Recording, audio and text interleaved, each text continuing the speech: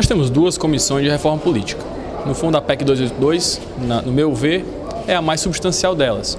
Acaba com a coligação, aqui eu atribuo ser um, um componente maléfico no nosso sistema eleitoral, porque a coligação faz com que partidos que muitas vezes têm grandes divergências ideológicas se somem apenas com, com a finalidade de obter um quociente eleitoral e também, no caso de financiamento, o, financiamento de um parlamentar é, se ele for irregular, ajuda uma coligação. Existem estados, como no meu caso, no, meu, onde o PT se coligou com o PRB.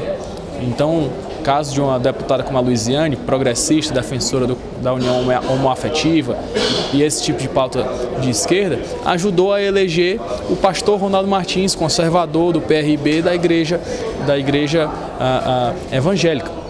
Então, nessa discussão, o fim da coligação é algo substancial. A causa de desempenho vai fazer com que só possa acessar fundo partidário, tempo de televisão, atuação parlamentar, aqueles partidos que tenham capilaridade no país, com votação e com expressão em pelo menos um terço dos estados.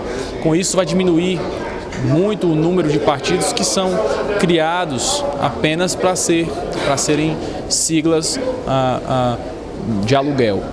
Eu acredito mesmo que num modelo onde nós possamos ter partidos fortes, é, com fim de coligação, e com a diminuição do número de partidos, vai fazer com que nos próximos anos que nós possamos enxugar o custo da política para o nosso país, melhorar a formação de governos e é assim que nós vamos fortalecer.